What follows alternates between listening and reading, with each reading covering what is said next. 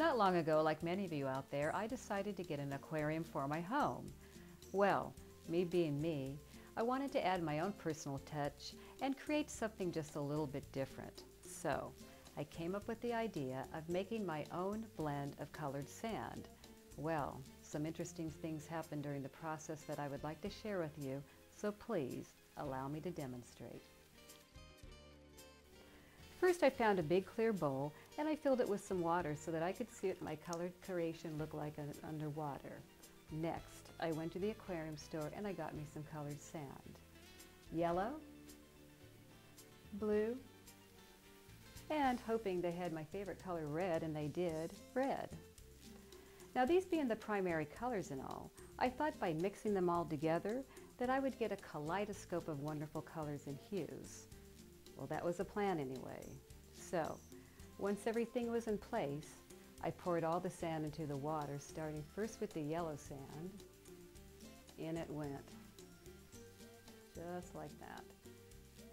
Making the water yellow. Hmm. Next, in went the blue sand. And finally, the red sand. I poured it in as well.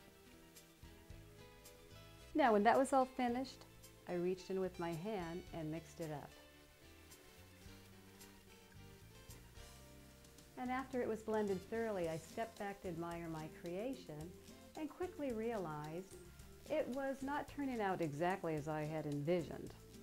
As a matter of fact, it was beginning to look like one big bowl of mud.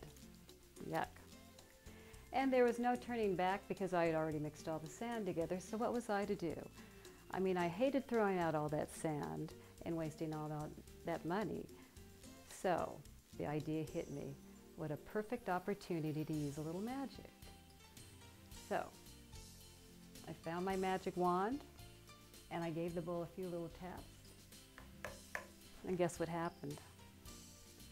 I was able to reach into that dirty water and find some of my yellow sand, just like that. And then I reached back in again and yes, I was able to find some of the blue sand. And one more time, hoping they have red, hoping that I have it.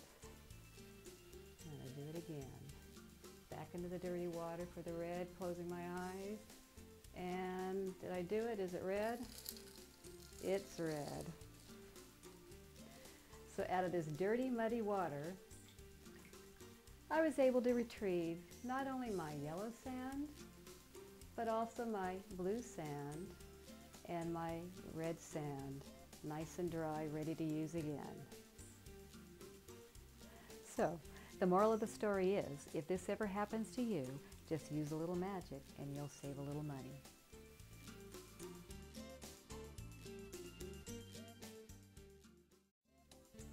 Hello, I'm Charlotte Pendragon, and my Magical Mystery Sands illusion is the Clearwater version of the old classic of magic, The Sands of Egypt, and requires no messy or irritating chemicals to deal with. Your kit comes with everything you need to perform the Magical Mystery Sands illusion in cabarets, clubs, theaters, television, etc., with no special requirements for lighting and or background. You get the uniquely designed Pendragon bowl, three smaller matching bowls, over half a pound of each colored sand, and approximately a quarter pound of each specially prepared reusable colored sand. I believe my personally developed blend of sand is the best on the market.